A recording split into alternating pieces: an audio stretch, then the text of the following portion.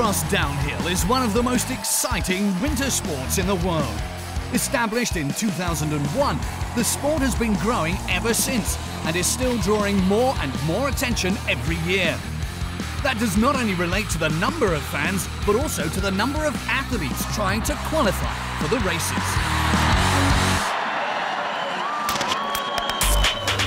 It all starts with the national qualifiers. Athletes trying to qualify for Red Bull Crashed Ice have to prove their skating skills by clearing a test course as fast as possible. The top athletes of the qualifiers proceed to the national shootout. Up to 100 skaters get the chance to work their way up all the way to the finals. Therefore, they have to survive several knockout stages and will face a set of international athletes in the ultimate elimination round.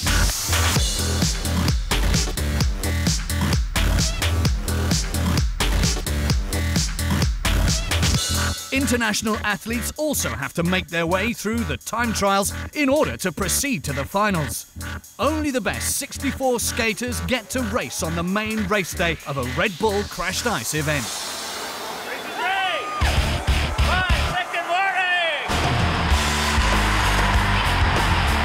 Once the competition has progressed to the finals, the race mode changes from time trials to four-man heats. In every heat, Four skaters battle side by side. Only the two fastest advance to the next round. Round by round, the field is cut down to the last four athletes to remain in the competition. The final heat between those four determines the winner of a race. The athlete to aggregate the most points throughout a season takes the World Championship title. Protective gear must be worn whenever stepping onto the ice cross downhill track. Crucial parts of an athlete's equipment are knee, chest and shoulder padding, as well as helmets and gloves. Despite being a physical sport, intentional body contact is forbidden in ice cross downhill. Fouls, such as pushing or pulling opponents, lead to immediate disqualification.